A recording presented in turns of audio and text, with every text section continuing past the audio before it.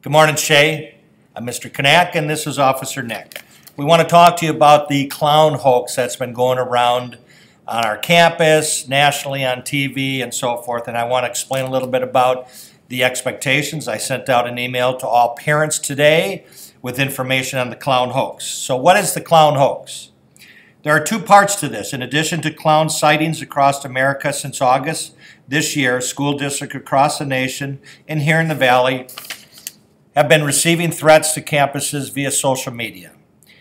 In the case of the social media threats, the sender uses a fake name and profile image of a clown to point, post threats.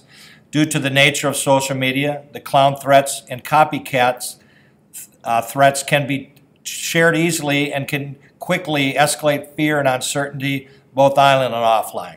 So understand that please don't get involved in any of these.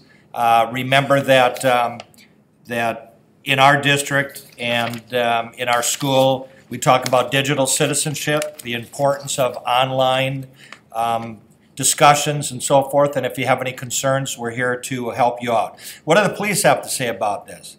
And also, Nick will go into a little bit further. The Phoenix Department of Police Department wants to make something very clear to those who choose to participate in this threatening behavior. It is not a joke, it is a felony.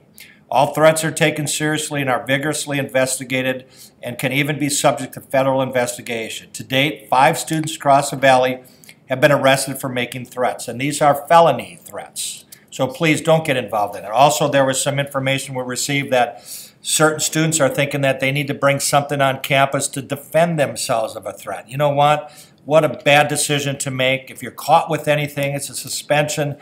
Please don't bring anything on this campus that could get you in trouble. See myself, Officer Nick, Ms. Deek, if you have any questions or concerns. This is a clown hoax. Uh, there's no credible evidence that anything has occurred around our neighborhood or in our community. So, Officer Nick. Hello, High Shea Middle School students and staff. Um, I'm in the area, I'm patrolling before school, after school. I'll maintain high visibility to deter anybody from coming near the school or in and around the area. Um, if you have any questions, please come into my office. I'll also step into classroom with Principal Dan. And uh, thank you very much for your time. Have a good day, Shea. Be safe.